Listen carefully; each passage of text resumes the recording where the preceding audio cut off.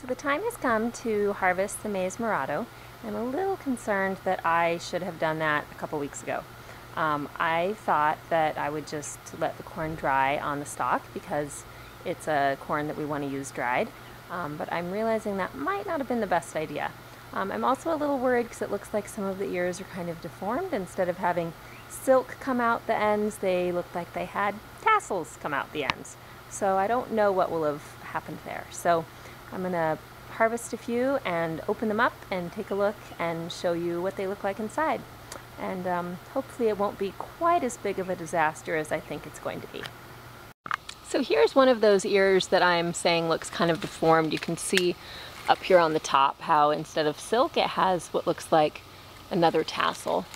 And um, I might need to put the camera down and use two hands to harvest these. There's there's that one, there's, there's one on the stalk up here, there's a few of them I'm gonna harvest and see what we got inside. So I had to take a little video of this uh, ear of corn before I harvested it. I think this one might be the most deformed looking one. This is actually an ear of corn coming off of the corn plant uh, with then some sort of genetic variation that's turned it into some sort of palm tree. So here we have what I believe is going to be the entire harvest of the maize morado. Um, and I have my, my son's lovely blue Minecraft sword here to point out. Uh, so these ones in this area are all what I would guess to just be generally odd and not great. Um, you can even see on this one here how instead of uh, tassels at the top, it has, I'm sorry, instead of silk, it has tassels at the top. Um, this corn up here at the top, this is the one that I think is most likely to have good corn inside. Uh, it has actual tassels that have browned, it's plumped up a bit, um, and when I pulled it off the plant, uh, it snapped very nicely when I disconnected it from the stalk. And then over here, we have um, the strange uh, changeling that um, looks like it was a corn and now has turned into some sort of palm tree. So I'd say this one's the, the least likely to give us any good corn. So I am going to set the camera up now so you can see me open them up. Alright, so the plan I had for showing the unwrapping really didn't work, but um, I've unwrapped the first ear and uh, I couldn't hold the camera at the same time. I needed both hands. So this was the ear that had tassels coming up the top and I, I didn't think there would be anything inside, but there actually is this small ear of corn in here. And I think it would have been better if I harvested it a bit sooner. It's certainly past the, the stage when one would want to eat it fresh. Um, but for drying it, um, I think it'll work just fine. So I'm gonna clean it up here and, and set it aside for drying. Before I got uh, to that corn though, what I, what I came across was these beautiful corn husks and I thought, even if you're not gonna get any ears of corn out of it, these corn husks are amazing. And I, I pulled aside some of these super dark ones. I'm gonna dry them and hang on to them. And when it comes time to dye eggs in the spring, I'm gonna see if they work as a natural dye for eggs. And I also was thinking that this one, um, I was noticing it was dyeing my gardening gloves as I was opening it up. Um, I might take it now and just wrap uh, it around an egg while it's still soft and see if it will dye stripes onto the eggs. That could be really beautiful.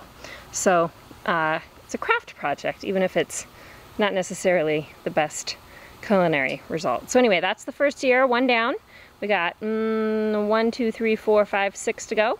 So I better get peeling.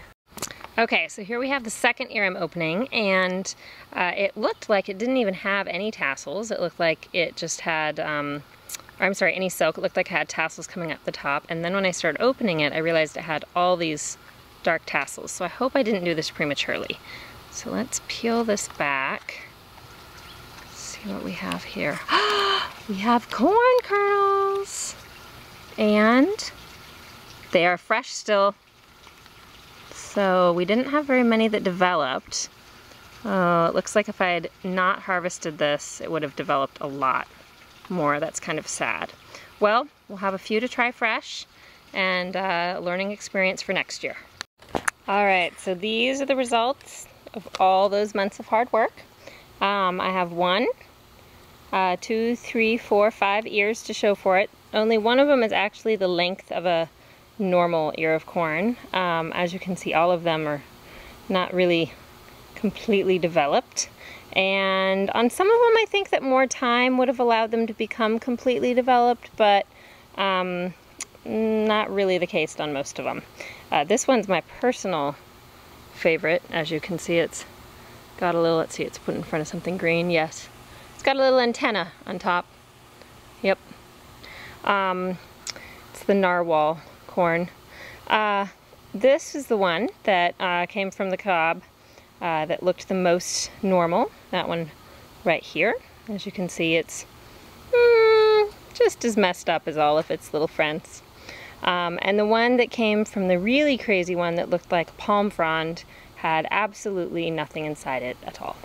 So that's the verdict. And um, while this might look like a huge disappointment and a waste of, let's see, what is it, mid-August now, and I started in mid-February, uh, so March, April, May, June, July, August, six months of, of work and care. Um, I, I don't see it that way. I'm going to dry these. I'm going to use them to uh, make some delicious chicha morada. And uh, I'm going to use these corn husks to dye some eggs. And um, will I try again next year? Mm, I probably won't. I probably won't in this yard. I think I will try growing this corn again when I have an adequate garden space to grow a big enough patch that does not require hand pollination because I think that the problem with a lot of these ears is they just didn't get pollinated adequately. And I tried with the hand pollination, but um, it's not quite as easy as one would, would like you to believe. So that's the end of the Maize Morado experiment here in Portland, Oregon.